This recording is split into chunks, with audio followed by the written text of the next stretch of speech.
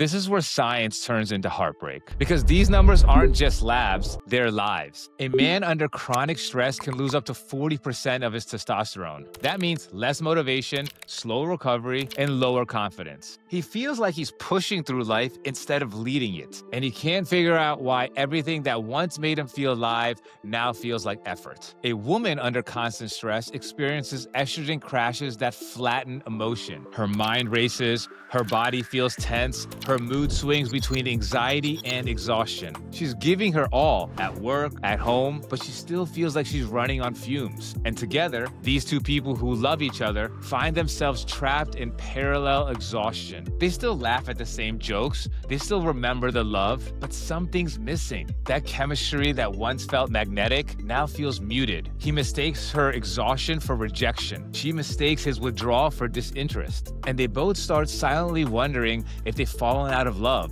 when in reality, their nervous systems are just out of balance.